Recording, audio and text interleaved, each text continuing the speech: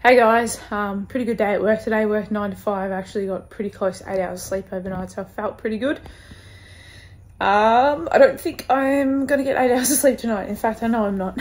It's already like 9 something and got to be up at 4.40 as usual.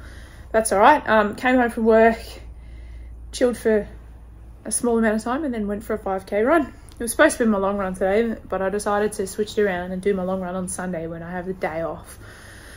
Um, smart plan really. 5k run went good. I think it was a 7.29 pace overall.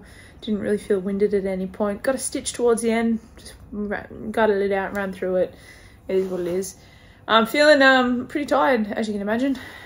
Lower limbs aren't feeling too great, too flash. But that's going to continue to happen while I'm still at a higher weight. I just want to take it slow. I did 10Ks last week, did 20Ks the week before.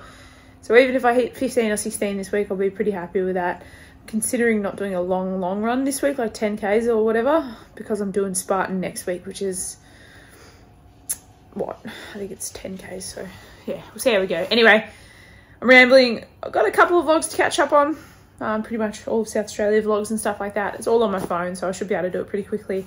I've uh, not used my the vlogging camera for a while to film.